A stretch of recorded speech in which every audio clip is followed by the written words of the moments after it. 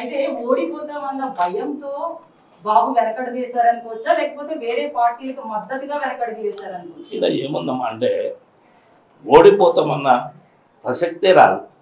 First నిల నిలబడ్డవాడు గెలుస్తామని నిలబడ్డాడు ఓట్లు ఎన్ని వచ్చినా గెలిచినా ఓడినా నూట పంతొమ్మిది మనం గెలవకపోయినా కానీ తప్పకుండా ఇరవై ఇరవై ఐదు సీట్లు మాత్రం గెలిచే సీట్లు ఉండే దట్టు చంద్రబాబు నాయుడు గారు జైల్లోకి పోయిన తర్వాత ఏ విధంగా ఉత్తరంలాగా ప్రోగ్రాం జరిగినాయో ఈసారి ఎక్కువ గ్రోత్ ఉండే.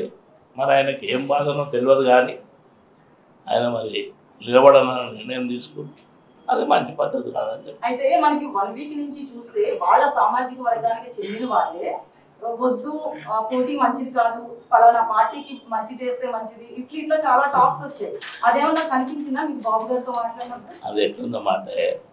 అసలు వేరే పార్టీలకు అనేది సబ్జెక్ట్ మనం ఎట్లా చెప్తామమ్మా?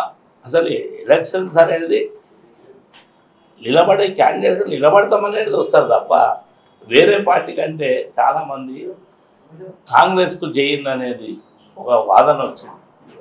కాంగ్రెస్కు సపోర్ట్ చేయాలని ఒక వర్గం.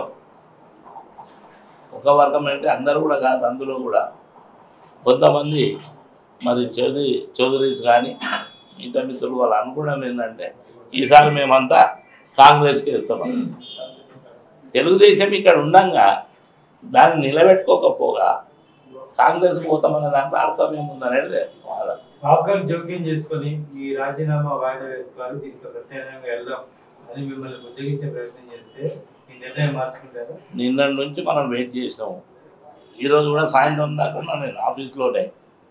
ఏమైనా మెసేజ్ వస్తుందని మేము అందుకొచ్చే.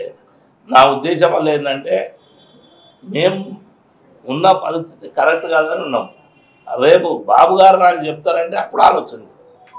అయితే జగన్ కూడా మొత్తం ఇక్కడ తిరిగి తెలంగాణలో పార్టీ అవసరం లేదు అని ఎత్తేసి టోటల్ ఏపీ స్టాండ్ తీసుకున్నారు. రేపు అలాగే బాబు కూడా ఇక్కడ మొత్తం పార్టీ ఎత్తేసే అవకాశం ఉందనుకోవచ్చా జాతీయ పార్టీ నుంచి రాష్ట్ర పార్టీకి వెళ్ళిపోయే అవకాశం ఉందంటారా? నేనేమంటున్నామా అంటే జాతీయ పార్టీకి వెళ్ళినా నువ్వు రాష్ట్రీయ పార్టీకి వెళ్ళినా దేనికి వెళ్ళినా అసలు క్యాడర్కు చెప్పాలి కదమ్మా తెలంగాణ స్టేట్ ప్రెసిడెంట్గా మేము ఆఫీస్లో ఉన్నాము. ఎందుకు మనం నిలబడతలేమన్నా చెప్పుకోవాలి కదా. వేరే క్యాడర్ ఏమని చెప్తాం పోయి మనం? కనుక అది మంచి పద్ధతి కాదు. అసలు సమాజంలో కూడా మంచిది కాదు